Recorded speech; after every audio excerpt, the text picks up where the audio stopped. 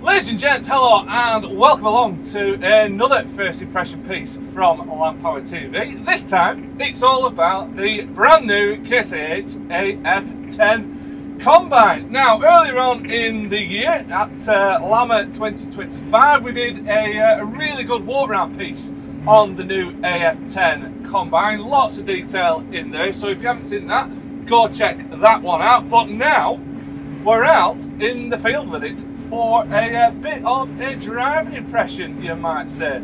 So I'm joined today by Dahal Kent, Exactly. who is CNH Products Demonstrator, is that it? Yeah, that's correct. So Dahal here is basically going to talk us through the combine, particularly the operation of it and its performance in field. Which Yeah. uh, today, well, we're in Warwickshire today, aren't we? Yeah, so we're out today in Wheat. Brilliant how it's out getting a first impression of this new AF10. We're on a demo tour around the UK at the moment. It's been brilliant getting it on farm, getting people to experience what is essentially an all new combine for Case IH. Well, that's it, and you know we're going to properly get stuck into the nitty gritty of this combine. But first of all, what is in the AF range?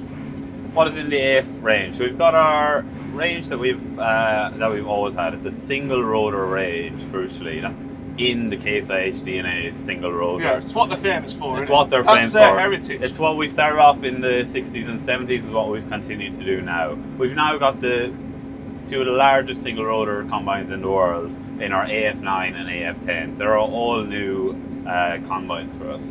We've also got our 260 series, which sit below the AF9 and AF10, and then we've got our 160 series, which sit below them. So we've got a range of single rotor combines at all shapes Yeah. and sizes for all types of farmers.